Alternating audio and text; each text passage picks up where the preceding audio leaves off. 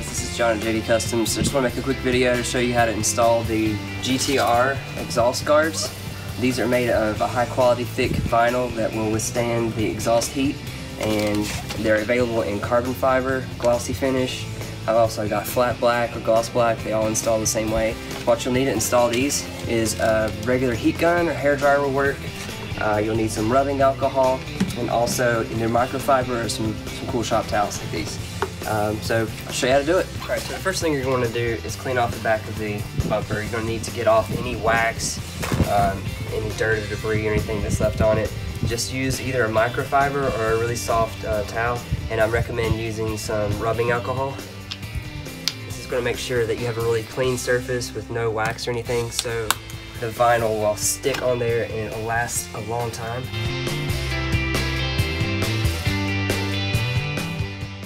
Alright, so the next step you're going to take is to peel down the back of it like this and then make a fold in it. So you only have a certain amount of it showing. This will allow you to be able to line it up at the top without having the whole thing just stick on it. So once you get the top part lined up as close as you want to get it, that is pretty much going to make sure the rest of the whole thing is lined up. So just get the top part lined up there. Then I would just make a little crease at the top. Then you're gonna pull it up. You're gonna pull this down. Uh, at this point, if you need to, if there's any bubbles, you can use the hair dryer or the heat gun you have, but it's just really a matter of slowly putting it down. You can use your thumb, or you can um, use a, some type of maybe a squeegee, but you don't want anything that will scratch the vinyl. So just do it like this. If you need to use the heat gun, you can turn it on low setting. Don't want to melt it, that's for sure. So this stuff takes the heat very well. Just heat it up a little bit at a time and then just continue to push out the air bubbles and the wrinkles. And if you if you do run across an air bubble or something, um, you can always pull it back up and then push it back down.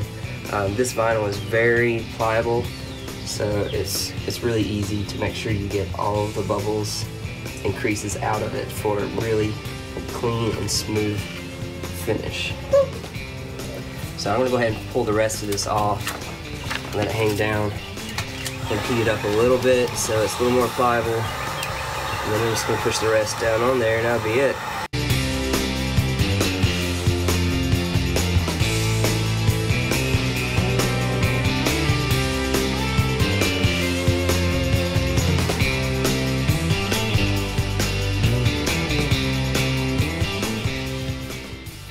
Okay, so depending on how much you actually stretch the vinyl down whenever you installed it, you may need to use an X-Acto knife to trim off just a hair at the bottom, but you want to leave enough for it to wrap down underneath here, because you don't want to see the edge of it and you don't want it sticking out.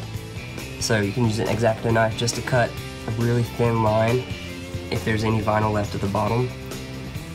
And then use the heat gun and your fingers to just bend it up underneath there. And that would be it. So this is what it looks like when it's completely installed and finished. The other side is obviously the same way, just repeat the same steps. If you do have any little bubbles in there like that, then those will eventually come out with the heat and the sun. And this is uh, pretty much it. Um, like and share the video and message me or give me a call if you have any questions. Um, thanks for watching. See you next time.